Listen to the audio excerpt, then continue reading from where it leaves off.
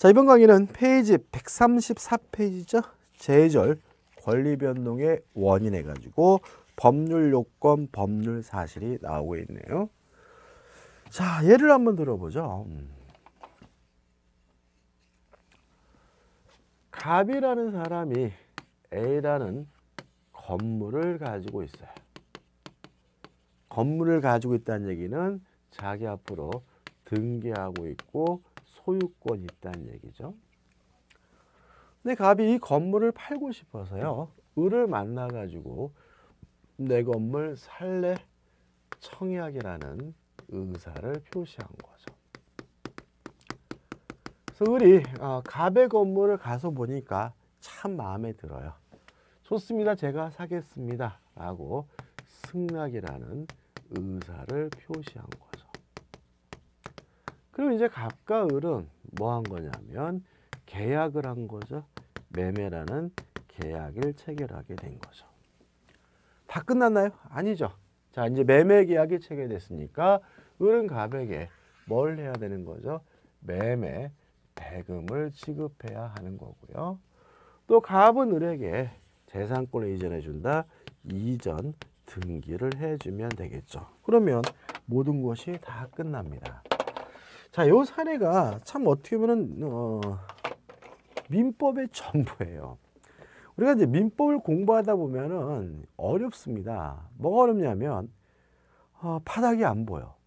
공부하다 보면은 아 이게 이렇게 하면 되는 거야 이거 도대체 뭘 하고 있는지 자꾸 이렇게 뜬구름 잡는 것 같고 음, 그러다 보니까 어떻게 해요? 뭔가 좀 이렇게 빨리 어떻게 빨리 단단하게 끝낼 수 있는 방법이 없을까 이런 거 고민하고 찾다가 오히려 시간을 더 많이 들이게 되고 공부하는 시간이 아, 굉장히 길어지는 경우가 있어요. 근데 실제로 여러분하고 저하고 민법을 강의하면서 제가 들은 얘기가 그렇게 다양하진 않거든요. 왜 그러냐면 민법이라는 것은 이러한 하나의 거래를 완성하는 것이 민법인 거예요.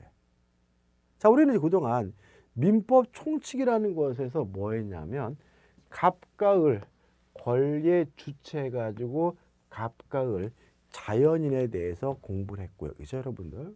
그 다음에 권리의 객체 해가지고 건물, 물건 해가지고 공부를 한 거죠. 이제부터 뭘 공부할 거냐면요. 의사 표시라는 것을 공부하게 됩니다. 그래서 이 의사 표시까지 공부하게 되면 여러분하고 저는 이제 민법 총칙을 끝내게 돼요.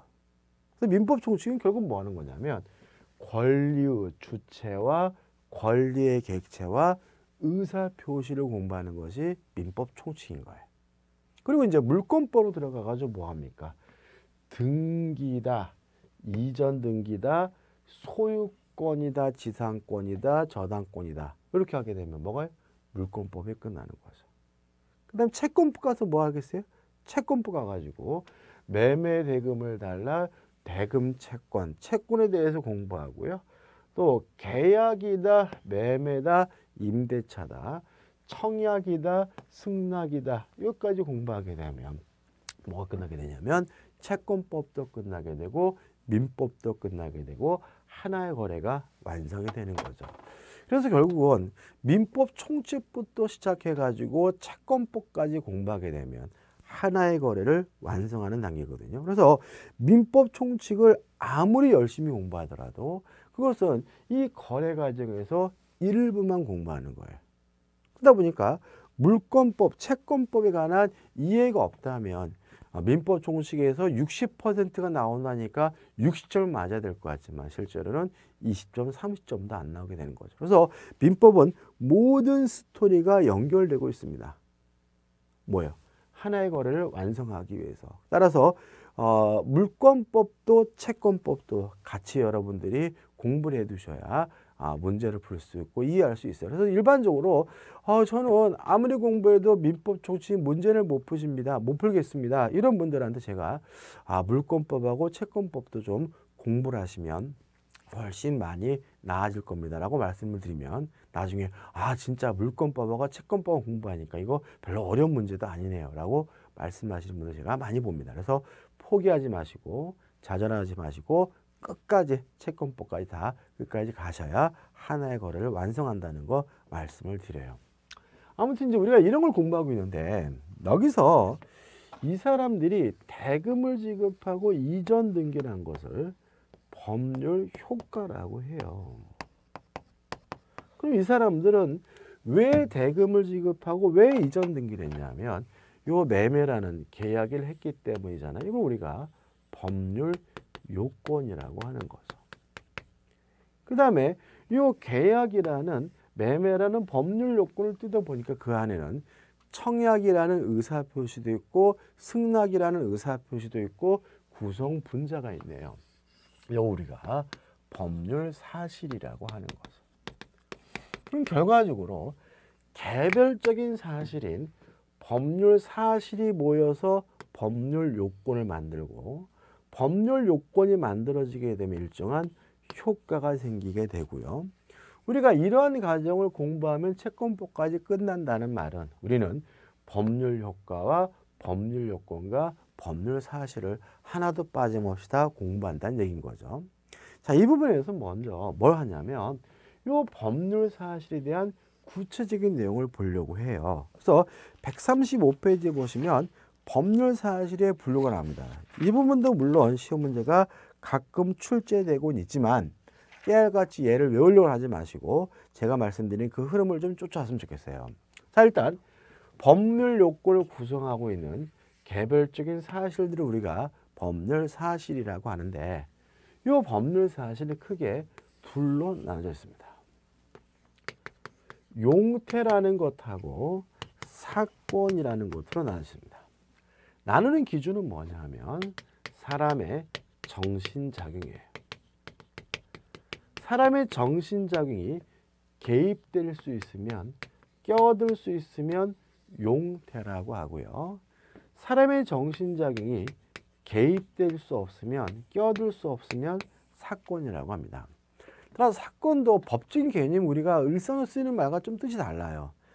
사람의 정신작용이 개입될 수 없는 것, 껴들 수 없는 것을 우리가 사건이라고 한다. 그럼 사건이 뭐가 있느냐? 가장 대표적인 것이 시간의 경과죠. 시간이 흘러가는 것은 사람의 정신작용이 개입될 수 없잖아요. 그래서 우리가 소멸시효는 사건입니다. 왜요? 10년 동안 채권을 행사하지 않으면 10년 동안 시간의 경과니까. 취득시효도 사건입니다. 20년 동안 타인의 부동산을 점유하면 20년 동안 시간의 경과니까요.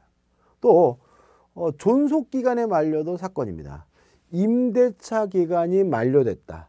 지상권의 존속 기간이 만료됐다. 다 뭐죠? 시간의 경과고 시간의 경과는 사람의 정신장애 개입될 수 없으니까 뭐가 되는 거죠? 사건이 되는 거죠.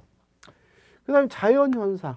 겨울 되면 춥고 여름 되면 덥고 해는 동쪽에 떠서 서쪽으로 지고 이러한 어, 자연현상도 사람의 정신작용이 개입될 수 없으니까 사건인 거예요. 사람은 반드시 죽습니다. 그 누구 예외도 없이. 최근에 이건희 회장님 돌아가셨잖아요. 돈이 참 많으신데 음, 돌아가시기 싫으셨을 것 같아요. 아무튼 이건 일종의 뭐죠? 자연현상이고 그 누구도 회피할 수 없는 것이니까 사람의 정신적인 개입될 수 없다 사건이군요. 그래서 사람의 생사는 뭐로 들어가는 거죠? 사건으로 들어갑니다. 부당이득입니다. 부당이득은 어, 부당한 이득 이렇게 이해하지 마시고 틀린 말은 아닌데 원인 없는 이득 이렇게 기억하셨으면 좋겠어요. 원인 없이 갖게 되는 이득을 부당이득이라고 하고요. 원인이 없다는 말 속에서 사람의 정신작용이 개입될 수 없는 것으로 봐서 뭐로 봅니까? 사건으로 이해한다는 거 꼭 기억해 두시기 바랍니다. 용태입니다. 둘은 아닙니다. 사람의 정신작용이 개입될 수 있는 거, 꺼들 수 있는 거 우리가 용태라고 하는데 어, 사람의 정신작용이 밖으로 표출되고 있으면 외부적 용태 우리가 흔히 쓰는 말은 행위라고 하고요. 사람의 정신작용이 머릿속에 머물고 있으면 내부적 용태 우리가 흔히 쓰는 말은 의식이라고 하는 거죠. 뭐 어, 예를 들어서 제가 제 친구를 나쁜 새끼하고 생각하고 있다면 이건 뭐예요? 내부적 용태고 만나가지고 이 나쁜 새끼야 이렇게 말했다면 뭐죠? 외부 용태 행위가 되는 건데 교재는 이 내부적 용태에 대해서 의사적 용태, 관념적 용태 이렇게 나누는데 그런 건 나눌 필요 하나도 없어요. 중요한 건 아니고 높아시면서 말씀드리면 선의와 악의 개념인 거죠. 선이 모르고 있는 정신 상태, 악이 알고 있는 정신 상태죠. 선의 제3자, 모르는 제3자, 악의 제3자, 알고 있는 제3자죠. 근데 외부적 용태 이 행위가 다시 둘로 나뉩니다. 적법행위와 위법행위로 나뉘죠. 자, 물론 그 행위가 법에 부합한다면 법에 반하지 않는다면 이거 뭐가 되는 거죠? 적법행위가 되고요. 법에 부합 법에 부합하지 않는다면 법에 반한다면 위법행위가 되는 거예요. 자, 근데 여기서 우리 좀 생각해 볼 것은 뭐냐면 위법행위여야지만 손해배상을 청구할 수 있다는 점이에요. 자, 우리 주택거래다 시험에서 손해배상을 청구할 수 있느냐 없느냐 문제를 아, 어떤 형태든지가 반드시 물어보게 되는데 자 법적으로는 위법행위여야지만 손해배상을 청구할 수가 있습니다. 다른 원인으로는 원칙적으로 손해배상을 청구할 수가 없어요. 그러면 위법행위가 뭐가 있느냐? 두 가지가 있죠. 채무 불이행과 불법행위죠. 채무 불이행이 뭔가요? 고의나 과실로 채무를 이행하지 않거나 못하게 된 것을 우리가 채무 불이행이라고 하고 불법행위는 뭐냐면 고의나 과실로 타인에게 손해를 입힌 것을 우리가 불법행위라고 해요. 따라서 채무 불이행이거나 불법행위하지만 손해배상을 청구할 수가 있습니다. 이것도 좀 꼭 기억해야 되겠죠. 다시 말씀드리면 민법상 위법행위여야지만 손해배상을 청구할 수 있는데 위법행위는 두 가지가 있다. 채무불이행과 불법행위. 따라서 원칙적으로 채무불이행이거나 불법행위여야지만 손해배상을 청구할 수 있다는 거 꼭 가져가셔야 돼요. 그냥 가장 중요한 건 뭐겠어요? 적법행위겠죠. 자, 적법행위는 둘로 나뉩니다. 법률행위라는 것하고 준법률 행위라는 것으로 나뉘어요. 나누는 기준은 뭐냐면 의사표시죠. 그 적법 행위 속에 의사표시가 들어있으면 법률행위고 의사표시가 들어있지 않으면 준법률행위입니다. 어, 조심할 것은 뭐냐면 자 의사표시가 들어있는 법률행위는 법률 요건인 거죠. 다시 말하면 그 법률 행위를 구성하고 있는 의사 표시가 뭐인 거예요? 법률 사실인 겁니다. 저는 여러분들한테 설명을 드리기 위해서 이렇게 쓴 거고 법률 행위는 뭐죠? 법률 요건이고 의사 표시가 뭐예요? 법률 사실이라는 거 좀 주의해서 주의하시길 바라고 자 이제 들어보죠. 자 법률 행위가 뭐냐? 의사 표시가 들어있는 적법 행위가 법률 행위다. 그러면 의사 표시가 뭐냐? 의사를 원하는 바를 밖으로 표시하는 것을 우리가 의사 표시라고 한다. 그죠? 다시 말하면 원하는 바, 바라는 바를 밖으로 표시하는 것이 의사 표시인데 고개 들어 있으면 법률행위, 없으면 뭐죠? 준법률행위인 거죠. 자, 자 이렇게 하겠습니다. 아가씨 참 이쁘시네요. 이건 의사 표시가 아니에요. 원하는 바가 없잖아요. 저와 커피 한 잔 하실래요? 이건 의사 표시죠. 제가 뭘 원합니까? 커피 마시기를 원하잖아요. 그 집이 참 멋있습니다. 이거는 의사 표시가 아니에요. 그 집을 저에게 파시겠습니까? 이건 뭐죠? 의사 표시죠. 자, 지나가다가 친구하고 오랜만, 아유, 잘 지내니 친구야? 반갑다. 이거는 의사 표시가 아니에요. 야, 우리 언제 한번 소주나 한잔 하자. 이건 뭐죠? 의사표시인 거죠. 감 잡히시죠? 그죠? 그럼 이것도 뭘 할 수 있냐면 이 법률행위의 효과는 의사표시에서 결정된다는 걸 알고 알게 되죠. 결혼하자 그랬어요. 좋대요. 그러면 둘이 뭐 합니까? 결혼을 하게 되죠. 그쵸? 커피 먹자 그랬어요. 좋대요. 그럼 뭐죠? 둘이 커피를 먹잖아요. 집 사겠다고 했어요. 좋대요. 그럼 저는 집을 사게 되잖아요.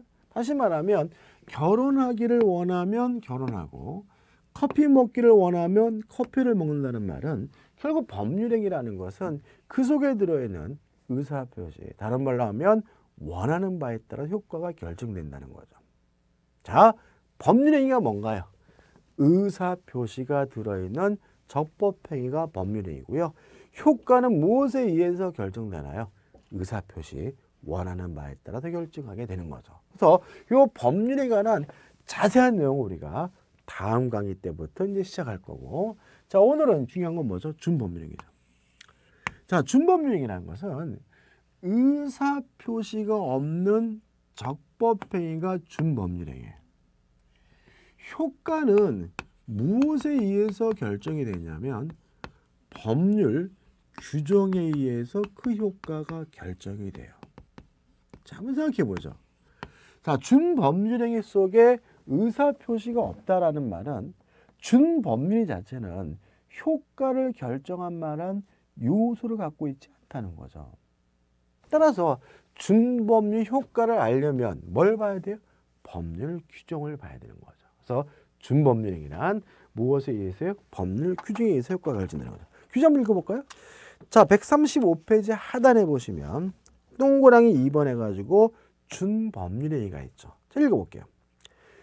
의사표시가 없는 적법행위를 준법률행위라고 하며 행위자는 행위자의 의도와는 관계없이 법률의 규정에 의하여 일정한 효과가 부여되는 것이 특징이다. 다시 말하면 준법률 효과는 무엇에 의해서 결정이 됩니까? 법률 규정에 의해서 결정이 되는 거죠. 이해되시죠? 자, 준법률행위에 대해서 뭐 표현행위, 비표행위 이렇게 예가 있는데 우리 그냥 그런 거 따지 말고 그냥 바로 들어갑니다. 첫째, 의사의 통지는 준법률행위다. 자, 이미 확정된 의사를 상대방에게 전달해 주는 것을 우리가 의사의 통지라고 하고요. 의사의 통지는 의사표시하고 대단히 유사하거든요. 개인적으로 구별하기 어렵습니다. 그래서 외우자고요. 각종 최고와 거절이 의사의 통지다. 이렇게 기억하면 돼. 준법률행위죠. 그리고 두 번째, 관념의 통지도 준법률행위입니다. 관념의 통지는 뭐냐면 사실의 통지죠. 객관적 사실을 상대방에게 알려주는 것을 우리가 관념의 통지라고 하고 객관적 사실 알려주는 관념의 통지는 의사표시가 아니고 준법률행인 거죠. 그 다음 세 번째로 감정의 표시죠. 뭐 기분이 좋다, 그죠? 나쁘다 이런 것들 우리가 준법률행위 중에서 감정의 표시가 되는데 기분이 좋다 나쁘다가 법적으로 문제가 될 건 없잖아요. 음, 법적으로 문제가 되는 감정의 표시는 뭐가 있냐면 용서가 있죠. 용서. 말 그대로 용서입니다. 용서. 근데 조심할 것은 우리 법적으로는 용서한 사유를 가지고는 법적 분쟁을 이야기할 수가 없어요. 예를 들어서 배우자가 부정행위를 했어요. 바람을 폈어요. 그 부정행위에 대해서 만약에 용서를 냈다면 더 이상 그 용서한 그 부정행위를 이유로 손해배상을 청구하거나 이혼을 청구할 수는 없습니다. 다시 말하면 용서하게 되면 더 이상 법정 분쟁을 야기하거나 야기시킬 수 없다는 거 좀 주의하셔야 돼요. 그러니까 우리가 어, 정적으로나 도덕적으로나 윤리적으로는 용서를 잘해야 좋은 사람일지 모르겠지만 법적으로는 용서 함부로 할 문제는 아닙니다. 용서한 사람에 대해서는 법적 문제 얘기할 수는 없어요. 그다음 마지막에 네 번째 사실행위가 어, 마지막 준법률행위고 마지막 법률 사실인 거죠. 이 사실행위라는 것은 뭐냐면 어떤 행위가 있을 때 그 행위를 하게 된 이유나 주관적 의도는 고려하지 않고 행위 자체가 법적인 의미가 있는 경우 우리가 사실행위라고 해요. 뭔 개소리인가 싶죠, 그죠? 의미 없는 내용입니다. 우리는 이 사실행위에 대해서 이게 나머지 개념입니다. 뭐냐면 준법률행위 중에서 의사의 통지와 관념의 통지와 감정의 표시를 뺀 나머지를 싹 뭐라 그러냐면 사실행위라고 한다. 이렇게 기억하시면 돼요. 아, 우리 인간의 행위 중에서 99% 사실행위입니다. 제가 아침에 일어나가지고 제일 먼저 뭐 했냐면 이빨을 닦았어요. 자, 이빨을 닦는 것은 저의 정신적인 개입돼 있으니까 용태고 외부적 때 행위고 적법 행위죠. 근데 이빨 닦는 행위 속에 의사 표시가 없으니까 뭐가 돼요? 준법률 행위가 되는데 그 중에서 뭐가 되는 거죠? 사실 행위가 되는 거죠. 제가 운전했습니다. 운전하는 것도 뭐예요? 사실행. 여러분들 지금 인터넷 보면서 공부하고 계시잖아요. 이것도 뭐예요? 사실행인 거죠. 그래서 사실행이라는 것에 대해서 어렵게 생각하지 마시고 준법률행위 중에서 의사의 통지와 간념의 통지, 감정의 표시를 뺀 나머지 모든 준법률행위를 다 뭐라고 합니까? 사실행위라고 한다죠. 자, 여기까지입니다. 여기까지고. 자, 우리가 중요한 이 법률행위에 대한 부분은 다음 강의 때 이어서 갈 거고 오늘 한 것을 정리하는 의미에서 대표 기본 확인 문제를 풀어보도록 하겠습니다. 자, 137페이지입니다.